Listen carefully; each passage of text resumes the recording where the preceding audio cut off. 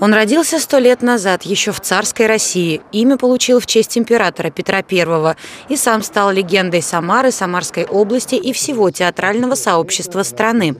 Петр Монастырский отмечал бы сегодня свой вековой юбилей. Друзья и коллеги принесли цветы к мемориальной доске режиссера. Его ученик Олег Белов тепло вспоминает мастера. Дядька был мировой, у него, я говорю, у него, конечно, еще при всем том, что да, вот там говорят, там, что да, он там стал отставать от времени. При всем этом он еще столько мог дать вот молодежи того, что сейчас уже нету тех людей, которые могут это дать. Просто так не умеют. Человек слова и человек дела. Таким его помнят ученики и коллеги.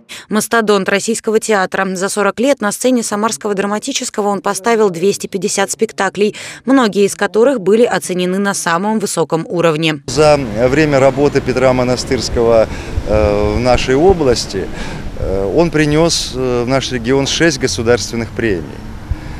6. Это, конечно, не до монастырского, не после, пока э, такого урожая э, театр не собирал. Э, поэтому, я думаю, государственные награды говорят сами за себя. Петр Монастырский был награжден Орденом Трудового Красного Знамени, золотой медалью РСФСР, орденом за службу Отечеству четвертой степени. Но главной наградой для режиссера всегда оставались полный зал зрителей и аплодисменты.